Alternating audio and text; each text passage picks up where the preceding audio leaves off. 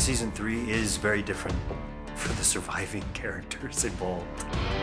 The manhunt for Pablo Escobar, his death, didn't affect the flow of cocaine one iota. You cut the head off of a snake, three more appear, in this case four, and the teeth are sharper.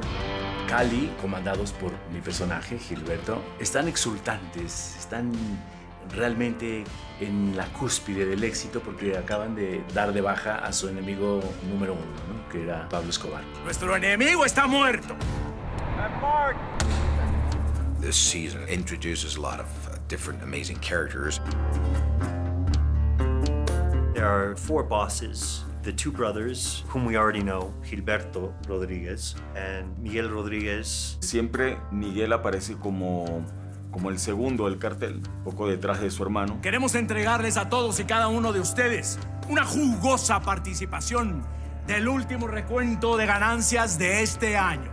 Su hermano era el tipo que era encargado pues, de dar la cara hacia afuera y Miguel de manejar las cuentas. Aquí está todo, ¿no? Ahí está hasta el último centavo, señor. And we also meet Chepe Santa Cruz and Pacho Herrera. O sea, un personaje que se enfrenta en aquella época siendo homosexual a ser uno de los capos de uno de los carteles de droga más poderosos de- del mundo. No había lugar para un hombre como yo. Yo me hice un lugar. Bueno, había, había mucho llamativo, digamos. Los tiempos tampoco son los mismos. Chepe is bigger than life. Had masters in chemical engineering. Tratamiento relajante, ¿ve? Eso suena como bonito. He loves to enjoy life. Sell cocaine with a smile. Kill with a smile.